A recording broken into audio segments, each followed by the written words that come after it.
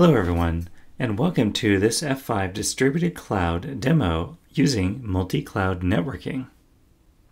In this demo, I'll show you how you can use the multi-cloud transit capability using the F5 Distributed Cloud Global Network to, one, deploy a site in AWS and also in Azure, and then attach that site to a legacy or existing service and VPC running in those different sites I'll show you how F5 provides simplified access to manage those services deployed across the clouds, to be able to see it, and ultimately how to take control and manage that.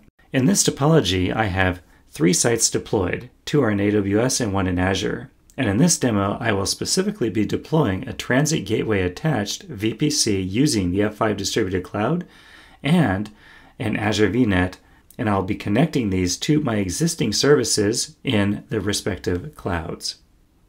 Kicking things off, we log into the Distributed Cloud Console and go to Shared Configuration. Go under Virtual Sites and then add a virtual site. Give it a name. Enter the site type as CE. And the important part is we're going to be using a site label to identify what sites belong to this cluster. In this case, we're creating a generic label called site group with the value of group sites. And I'll be using this in each of the two sites that I deploy. Now we'll go under the cloud and edge sites. And specifically, we're going to create a virtual network. Now this is a global network that we'll be using to connect our different sites that we deploy. Give the site a name, the type is global network, and that's all we need to do here to create the entity for the global network to span the different sites. Next, we'll be deploying the site with a label to associate the site with the global network. So here we'll, we'll give the site a name, and importantly, we're giving this a label. This label determines what sites belong to the site mesh group in order to participate in the global network. Choose the site region. We're going to choose creating a new VPC here. You could also use an existing VPC. We're going to use a new transit gateway, provide login access for debugging, and then we're going to choose here what availability zones our different networks belong to. In this case, I'm using US West 2A, and I'm going to enable a third subnet here for the inside network. And this is important in order to connect to my existing VPC, which is only addressed internally. The final part here is to choose which AWS credentials that we'll use to deploy the services within AWS, and we would need to have that pre-configured. The final step is to choose which VPC we want to attach to the transit gateway that we're creating in the new VPC within AWS. And the final part here is to choose which global network this site mesh will connect to. In this case, we'll just select the site's global network. And that's really all that you need to do in the Cloud Console in order to deploy a new VPC, add it to a site mesh group, and connect it to the global network. While that's going, once the configuration is configured, we can then go to Plan and apply the configuration to kick off that deployment. And while that's happening, we can now start our deployment in Azure. Go to Azure and then add a VNet site, give that site a name, and importantly, to participate in the site mesh group, we need to add the associated label for the site. Next, we're going to choose a resource group that belongs in Azure that we want to name it to, and it's unique. And this is where the uh, F5 Distributed Cloud configuration will be created. We need to give it a new CIDR block. And in this case, we're choosing to use two interfaces for the deployment. One is to support external traffic north-south, and one is for to route traffic internally east-west for our distributed application.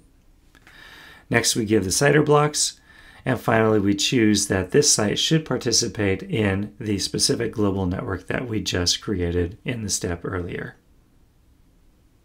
The final step here is to apply, save and exit after choosing our credentials for Azure specifically. Enter in any debugging information like the SSH key will help you debug later if you need to. Don't forget to do that as is simple to deploy again, but it's nice to have available without having to do that. Once the configuration is provisioned, you can go ahead and click apply to kick that off and create the services within Azure. Once everything is complete, you can go under Networking Site Mesh Groups. And now we're going to create the group of all the sites that we added the labels for. We're going to choose a site mesh group of type full mesh. And in this case, we're going to say it must be a virtual site. So what this does is it allows all of our sites to have direct access to one another. And we can see this by navigating to Site Connectivity, Site Mesh Group, and we can look at our site's mesh. Now notice here that one of the tunnels is down. That's because those sites are still being provisioned. Once provisioning has completed, you can look at the, the status page and go to Terraform parameters for additional information should you have any provisioning errors or if you just want to know what resources are used uh, in the creation of those services by the Distributed Cloud Console. Once you log in and look at your console, you should be able to see the list of services that are running fairly easy and they're fairly simple to identify. Here I'm showing that a route on the services VPC was created by the Distributed Cloud Console, and this is in order for reach other services running within my network. If you need to make any changes, such as linking or, or creating a route from the existing VPC that I linked my new VPC to, then I would go under the route table. And you can see here that the existing route that I had in that VPC is not currently valid. And that's because I deployed the new VPC after this VPC was created.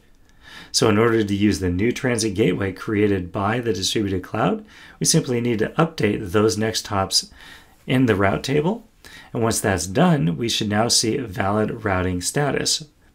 In order to reach that, then we'll go over to the Azure side and take a look at the resources that were just provisioned by the Distributed Cloud Console. If we take a look at the master node, this is the master CE node that was deployed, we can see that there are two interfaces, one for the outside and one for the inside interface. And in this case, we can see that the inside interface has a private IP address and no public IP.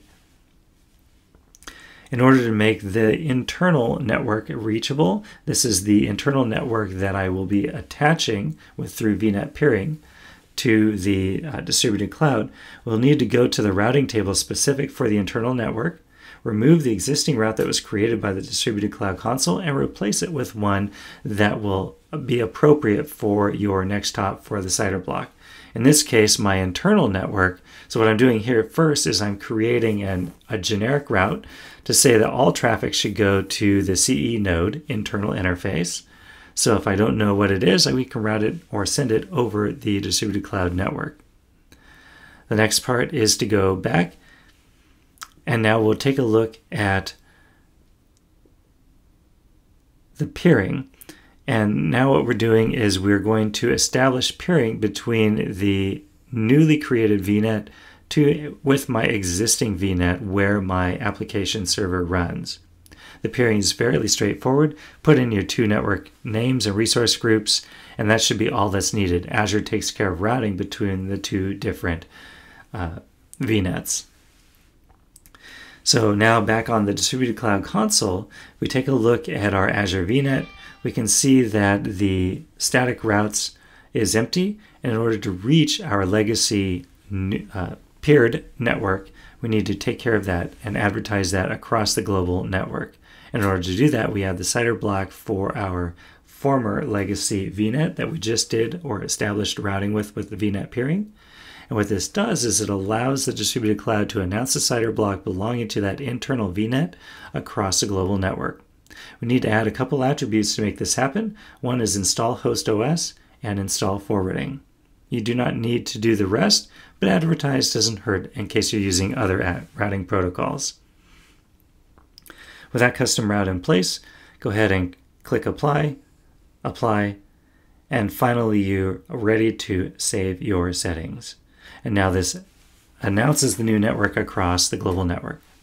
So now, if we take our private IP address for our app server running in our legacy VNet on Azure, we will now be able to ping it from our monitoring VPC subnet that we attached the TGW subnet, which Distributed Cloud created, provisioned using the Distributed Cloud console. And we can see here that we have routing across all the sites in our Distributed Cloud. And that's it in a nutshell. Thanks for watching, and be sure to check out more of our Distributed Cloud videos at f5.com, distributed cloud, and you can search for that in YouTube. Again, thanks for watching.